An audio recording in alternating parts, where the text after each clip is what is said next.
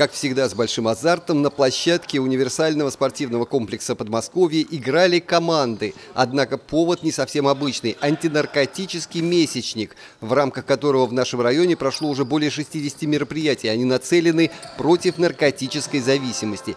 И под занавес всех этих акций турнир по мини-футболу. И эта игра, его открывающая, кстати, в этом мы сами убедились, между очень азартными футболистами. Одни работают в администрации района, другие в управлении МВД России Щелковская.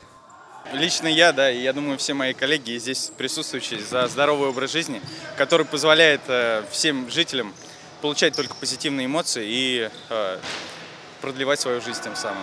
Вот. Лично мое мнение. Александр также сказал, что для победы в первом матче им не хватило чуть-чуть. Ну, ничего, в следующих играх они покажут, что не только умеют бороться с наркодилерами, это его направление деятельности в качестве полицейского, но и являются отличными спортсменами, способными выигрывать.